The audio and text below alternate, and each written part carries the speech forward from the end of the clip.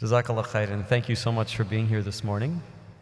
Um, I see some of you are way at the back. You might want to come forward. I spit when I talk sometimes when I get excited, but you'll, you'll be far enough away that I won't hit you. You'll be okay, inshallah. And um, why are we here today? We're here to talk about simplicity and, uh, and the arts. How many of you were with Sister Rukhsana Khan in the masjid a few moments ago? Wonderful. Excellent. Um, Roxana was talking a little bit about her work as a writer and uh, an artist. And, uh, and I will endeavor to do the same this morning a little bit. But not so much about, about just the art as, for me, one of the most inspirational aspects of why I, I write. And, and, um, and that is this quest for simplicity in faith and in life and in artistic expression. Um, let me gather my thoughts for a moment. The, the, the term simplicity and simple living, phrases like this that you hear, are very popular in our time. They're kind of up there on the list with natural foods and uh, all those brown bag packaged, you know, potato chips that you get and things that, you know, appear to be natural and organic.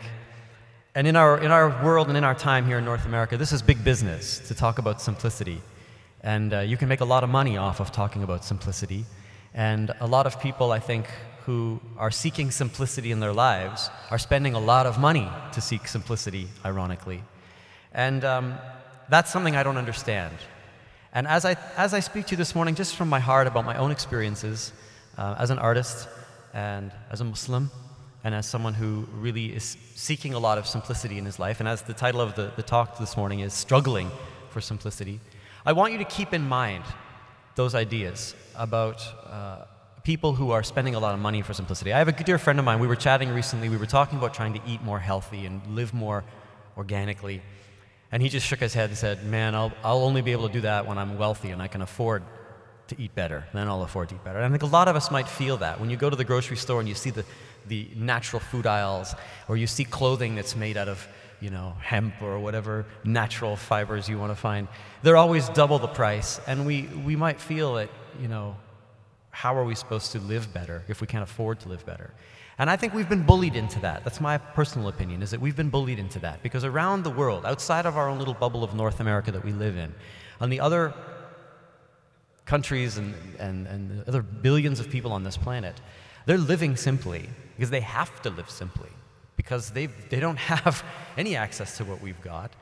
Uh, my wife and I, we live in Pakistan. We've been there for about three years. We've just recently resettled back in Ontario. And having an opportunity to live in northern Pakistan in a semi-rural environment. We're in a city, but we're a very small city, Abbottabad, which is, you know, within 10 minutes you can be out into the villages. And it's very rustic. Your families, anybody whose families here might come from Pakistan, um, you might spend time in Lahore or Karachi or Islamabad. When you get out of those hubs of, of, of the city life and the urban life, immediately when you get out of Islamabad, you start to see simple living because this is the only way. There's no garbage collection right? They don't come around with a truck and collect your garbage. There's no, um, uh, the water, you know, only comes through for about 15 minutes in the morning into the well. And, and then you have to pump that water up to your, to your reservoir on the roof. And if your pump's not working, you got to spend the day getting that pump working, or you won't have water. And if the city municipal, uh, you know, cantonment doesn't bring that water through to you, you might go through four days without any fresh water coming through. So you learn not to crank the tap on when you're making your wudu and have these huge ritual ablutions that are completely against the sunnah of the, of the Sahaba and the Prophet. There's no uh, electricity. The bijli is gone for six, eight, ten hours a day, and you make do. You live simply without it. You realize you don't need the electricity. Um, because life has to carry on. And having the opportunity to live in an environment like that with my family was a wonderful eye opener for me. Because my struggle for simplicity started when I was very, very young. And I'm not sure where you're coming from as people who've chosen to be here first thing in the morning, whether you came because you wanted to hear about simplicity, whether you wanted to hear about art, or whether you wanted to hear me sing, which I'm not going to do this morning. But I'm going to try and put them all together for you. I want to try and give you a bit of a history as to why I ended up being here right on, on this platform right now and sharing these words with you, why I write the songs that I write, why I choose to live without a cell phone, why I choose to live in Pakistan, why I enjoy having you know, eight hours with no electricity during the day when I'm there. Why it is I grow my own vegetables and try to farm my own bees, and why it is I like to sew my own clothes, and why it is I am not buying any new clothes for the next 10 years. I want to explain some of these things to you and, and the reasons why and how they affect my art. I want to explain to you why I don't make music videos, why people say, We don't see your videos. Where do we find your CDs? Well, CDs are made of plastic, and I don't particularly want to manufacture those anymore because it just puts too much plastic in the world. And I don't make music videos because there are too many starving children in this world, and one music video costs $40,000 usually to make. And there's a lot of better things that I can do with my time and my money than make music videos when uh, there's other things uh, that are more pressing. The struggle for simplicity in my life is the struggle to go against how I was even raised in North America. When I was a young boy, my parents used to take me out, uh, my sisters and I. We would go for many drives in the countryside, living in Kitchener Waterloo, if you've been down that way. Uh, it's only an hour away. There's a very large Mennonite community there, and we would often see the Amish or the Mennonite, uh, old order Mennonites families in their buggies and uh, in their very simple clothes. So we learned from a very young age that this was a very important community in our, in our a very important um, group of people within our community who were, according to their fiqh and their jurisprudence, were living in a way which they felt was much more simple um, so that they could focus more on the earth and upon each other and their communities. And that had a powerful impact on me, seeing that. Um, it also helped me to realize that the interpretations of faith that my family had, growing up in a Catholic school and in a Catholic family, were not the only paradigm. That there are other people in the world that, that interpret faith and God and life and the lives of the prophets in different ways, and that's very important because we each have to find that path that feels true to who we are. And as a young man, I was very impacted by being in nature. I wasn't very good in school, and when I was in school, I remember just enjoying looking out of the window and seeing the poplar trees and the clouds and being outside, the freedom that I felt with that. And when you look at schools like this, you know, it's wonderful that we have schools for children naturally, but the schools and the education that we have in the world were started at a time during the Industrial Revolution back over 100, 150 years ago, when the discussion was held in Germany about what the purpose of education was. Is the purpose of education to impart information, or is the purpose of education to inspire people towards greater thought? And those people who felt that education was about imparting information to create individuals who would be best able to contribute to the machine of society, they won out. And that's why we have schools today that have very few windows. In fact, many of our high schools, you'll note the classrooms are on the inside of the building and the windows are in the hallways. So that the youth are sitting in these boxes, not even able to see the outdoors. We used to have a 15 minute break in the morning and a 15 minute break in the afternoon, rain or shine, wind or snow, where we would go outside and play and get wet and feel the elements upon us. And now children have these short little nutrition breaks where they can drink their boxed juices and eat their cold cuts and everything else that comes out of a plastic bag for 25 minutes in the morning and 25 minutes or 40 minutes in the afternoon. And we've got them in the box the rest of the time. We've got children that don't know what a, what a pickle is. You know, they think pickles grow on trees. They don't realize that it's a baby cucumber that's been put in vinegar. We've got people that, you know, and children that, that, that have never seen a cow. They've never seen a, uh, they can't identify the songs of birds, much less imitate those birds and try and, and communicate with them. We, we live in a very different world. And as a child, I loved to be outdoors because that's where I felt the most freedom. This freedom to be in an environment where you can feel for a change. Where you don't have to put up your hand to go to the bathroom or put up your hand to say something. I mean, in these strange environments that we create and we put children in. My grandfather, great grandfather, had a farm as well, and there was a lot of fond memories of visiting his farm, jumping in the hay, being outside with bugs.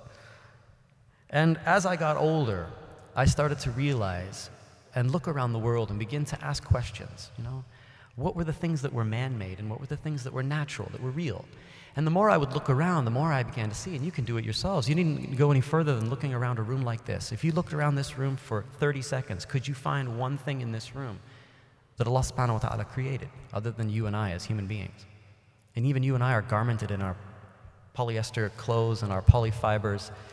There's no wood in this room other than maybe this, but in fact, this isn't even wood because if I took my pocket knife out and I cracked this edging off, you'd find out that this is actually made of sawdust and glue. It's just made to look like wood, so it looks fancy. This isn't wood. There's very little in our environments that are, we've, we've got this concrete, we've got these walls around us, there's not even any light coming in. These are artificial lights shining on me. This is our world, right? And I didn't want to be a part of that world. I wanted something more natural for my life. And I began to look spiritually towards different scriptures and, um, and to find out that spiritual purpose. And when I came to discover the Quran, one of the things that struck me the most was Surah Al-Nahl. When you look in the Quran and you read how Allah subhanahu wa ta'ala is constantly talking about the signs of Allah, the signs of God. Now, the Quran, in and of itself, each verse of the Quran, we call an ayah uh, or a verse, it actually means a sign. But the signs of the Quran, Allah subhanahu wa ta'ala consistently reminds us within the Quran that these signs of the Quran are the minor signs. These are the signs that are constantly pointing us towards the major signs of God's wonder and beauty and majesty, which are the signs of creation.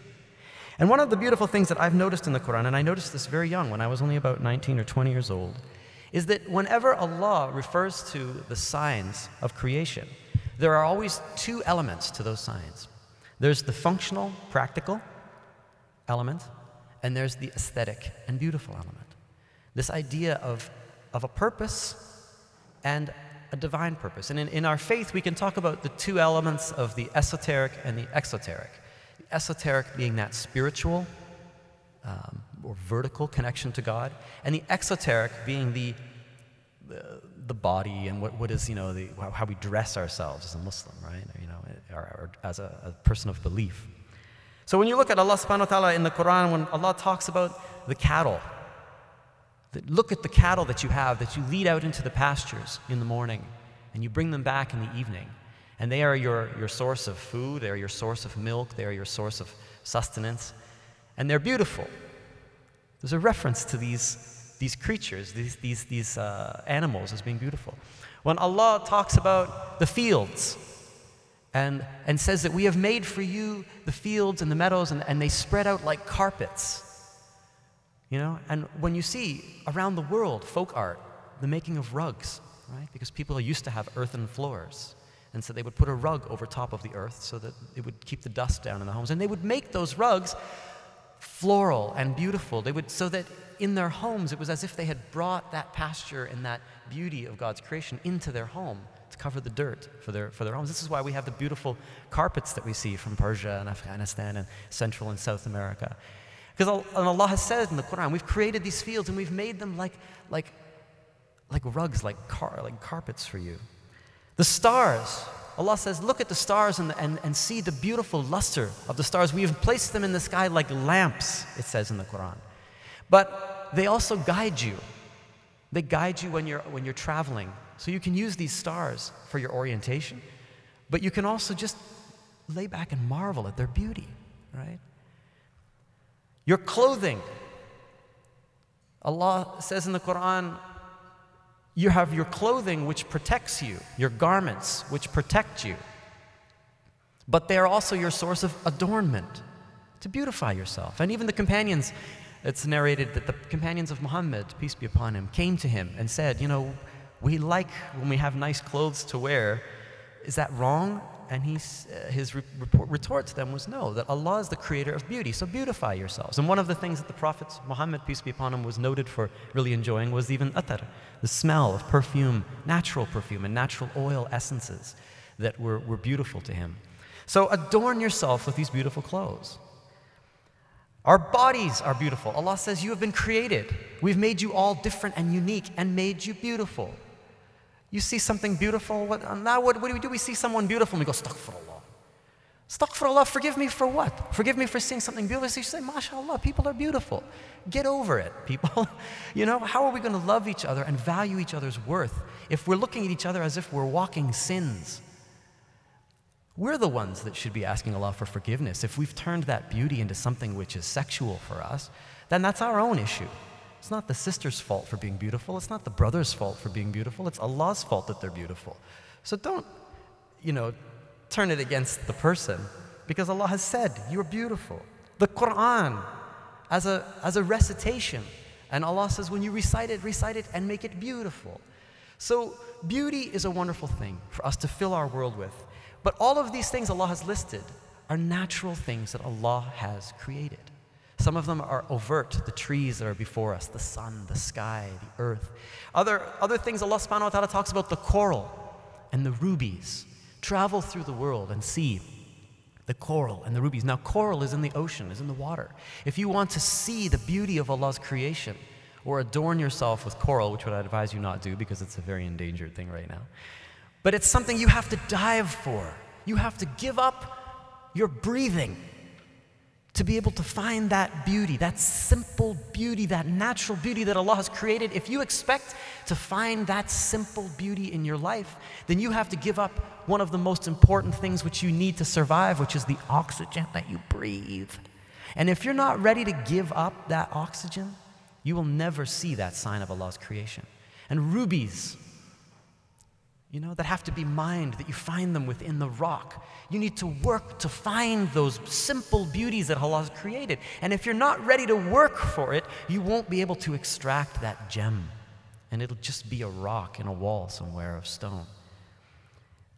And so when it comes to our own lives, when it comes to trying to find some simplicity, if any of you are like me and you live here in an urban environment and you, and you just feel like life is too fast, and it's too concrete and it's too much plastic and it's too hard and I can't find my faith, and I don't know who I am anymore. And I'm bullied into what cereal I need to buy, and I'm bullied into what fast food restaurant I'm gonna go to, and I'm bullied into what suburban spiritual environment I'm gonna be in. We have Mick Islam, Mick Christianity, Mick Judaism. Our religious communities in our mosques are sometimes, no, you know, just as uncomfortable environments as McDonald's for crying out loud. Because we're taught that our faith is going to be a combo pack. Which religion do you want? I want Islam. Okay, which one? Combo one, combo two, combo three. You're going to do it Tablighi style, you're going to do it Salafi style, you're going to do it Sufi style. Come on, people, that's not natural. Allah subhanahu wa ta'ala hasn't created these, these divisions, we have. Lettuce grows in a garden. It's easy to grow and it's easy to pick if you're ready to put the effort into it. If you're not, then you're going to end up going to McDonald's and you got to put up with whatever combo they're going to give you. If trying to find Allah is too hard for you to find in the masjid, as it's been for me many times, there's been a few times when I've walked out of a khutbah because I've heard hate about homosexuality or I've heard hate about other faith communities spewed on the mimbar, and I've said, enough of this. You go somewhere where Allah is, you'll find that in the natural environments. But it takes work, it takes hunting uh, for that simplicity. Living simply is different from living simplistically. These things that are simplistic are things that are very basic and they're not, they're not, there's not a lot of thought in them. Living simply is a choice that we make, and it's not an easy choice. Living simply is not synonymous with an easy life. Because like the coral that you have to dive for and have to give up your oxygen to see and find, or like the ruby that you need to mine for and dig for to see the beauty of that ruby that Allah has created. If you, we want simplicity in our own lives, we have to be ready to do something different, shift our paradigm. We talk about wanting to live simple lives, and in the middle of our conversation, we start going like this. Where's the simple living in that? We need to find ways to stop doing things which are interrupting our simplicity. And that will be different for each one of us. For my own self, I know my propensity to um, television and music. I've, as a kid, I grew up with media and I grew up with music, and, and I've known all too well, and as a musician, I know all too well how those things can clear, uh, can, can take away your mind from a, a goal and a focus. And it's important for us to learn how to balance in our lives. Allah subhanahu wa ta'ala says in Surah Ar-Rahman, the very beginning of the surah, in the chapter of the merciful, God says, We have created this whole universe in balance. So do not lose the balance. And to me, this is a very, very important, probably one of the most important verses in the Quran to me, is this verse that the universe has been created in balance. So do not lose the balance. If I took a ruler and I balanced it on my finger in front of you right here, I could probably do it. Try this at home sometime. Take a ruler and just balance it on your finger. You find the middle way and you balance. Now, everyone talks about our faith. Oh, our faith is the middle path, the middle way. It's very difficult to keep a ruler balanced on your finger, but you could probably master it. Now, that's great if you want to live in a bubble. You want to live in your masjid all the time, you want to live in your school all the time, and you want to just sit there and go, There, I'm a good Muslim, I'm balancing my, my life. But that's not real. We live in the world with other people. We share this world, as the Prophet, peace be upon him, did. We share this world with people of other faiths and cultures and lifestyles. And we need to interact together because we're all the same species and we're all equal. God's created us all equal because God says everything in the earth has been created in balance, right? And if God has created all of the humanity, then by default, we are all equal. We've got to, it's up to us to keep that balance. So take that ruler on your finger and see if you can walk all the way to the front door of your house without letting it fall. It's very difficult, especially if you have stairs in your house, because in our lives, things go up and down. And when things go up or down, it's harder to keep that balance. But eventually, you may be able to master carrying that ruler on the tip of your finger up the stairs and down the stairs and to your front door. Maybe you'll even be able to master opening that door and going outside with the ruler on your finger. But then there's the other aspects of Allah's creation the wind and the rain and the snow and the people Try and carry that, that ruler on the tip of your finger on a windy day outside, or on a snowy day, or on a rainy day. Try and see if you can walk through the Eaton Center in downtown Toronto with that ruler on your finger and maintain that balance. It's very, very hard because there's a lot of things to see and a lot of people walking around and passing us. So we have to be very diligent constantly about how to maintain that balance and the simplicity in our lives. Um, a few things that I've tried to do in my life is to start with my own home environment and begin to reshift the paradigm, or uh, shift the paradigm in my life of how I'm going to live and what sort of balance I want to maintain and what sort of simplicity I want to maintain. We hear a lot of people talking about decluttering. I don't know how many of you maybe have your homes full of, full of stuff. Maybe you have storage lockers that you rent to keep your stuff in. If you've ever heard the comedian George Carlin talks about stuff and how we get cars to tote our stuff around, and, and we need bigger houses to keep more stuff. And then when we go on vacation somewhere, we pack stuff in our suitcases and we carry that stuff into our hotels. And then when we go on a day trip, we take the stuff out of our suitcase and put it in our backpack. And we're constantly carrying our stuff.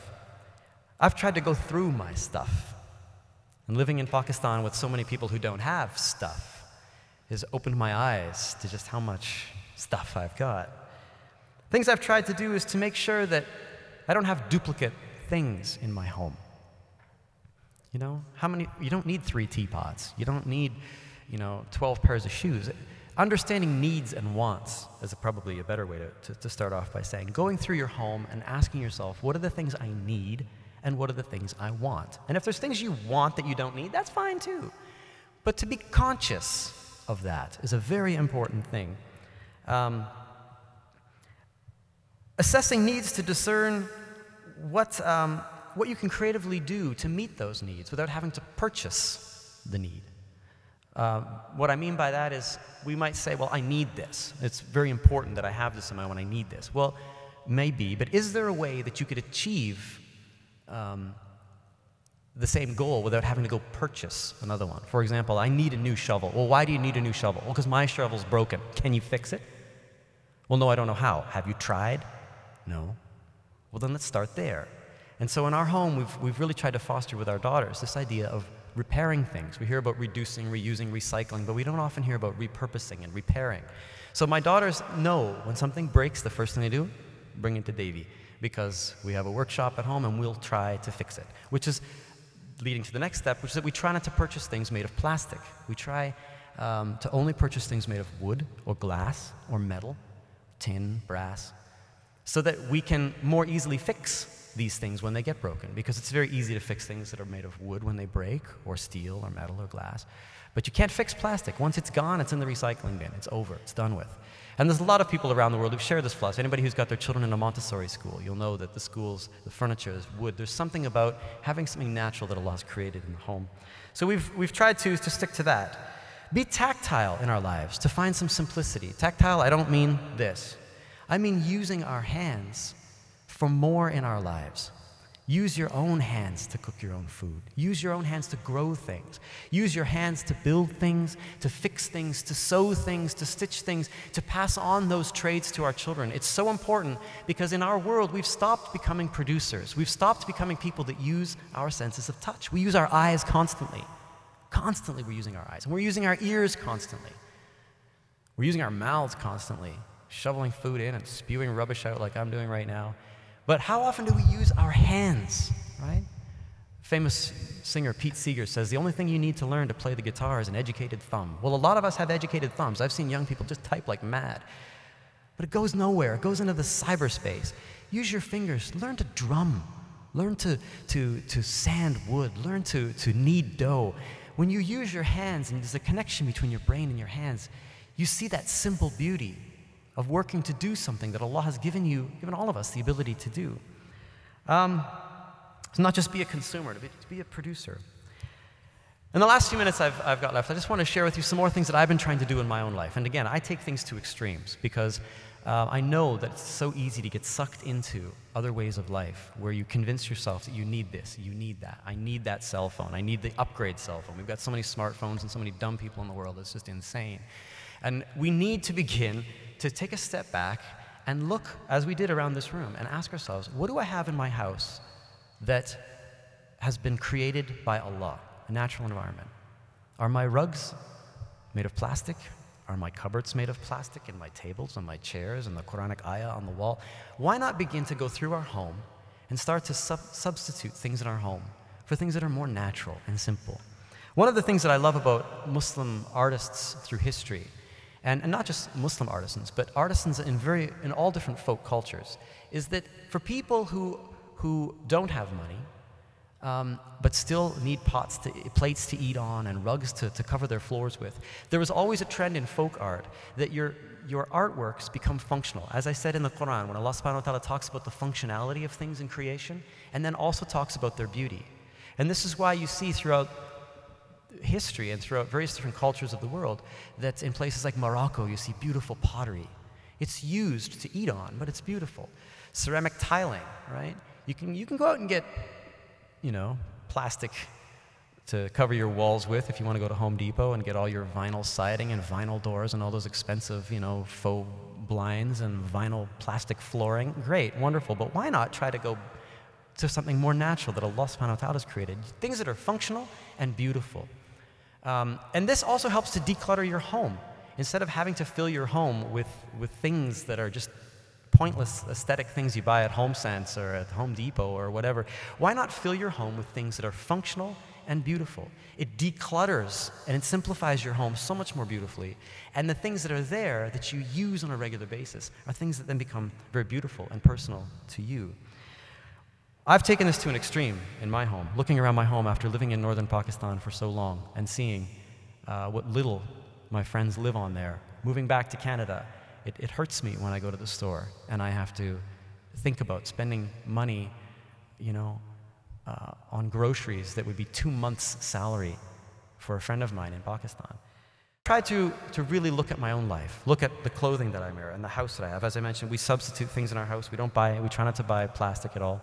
And if I buy a jar of relish, I'll buy the jar of relish that's in a glass jar because that glass jar can be reused if I need to put nuts and bolts in it in my workshop or rubber bands or my daughter's beads for their bracelets that they make. Repurpose things in your home and everything you bring into your house, ask yourself, what am I going to do with this when the contents is finished? Because in Pakistan, we have no garbage collection, as I mentioned. So when I buy something at the grocery store, I know that if that, that jar of of mayonnaise is finished in a month and a half, it's going to go over the wall into the, the, the, the, rubbish that just people have thrown into a big pile and wait for someone to come around and set fire to every week or two. So I decide to keep these jars and reuse them. Make functional things in your home decorative. That's what we've tried to do in our home, where we try to focus on minimizing how much we've got, and whatever we do have left that we have is something we love, we enjoy it, we use it, it's functional. We repurpose um, a lot of the trash in our home. A lot of people here, I say, yeah, but you know, we can recycle here. MashaAllah, Ontario recycles.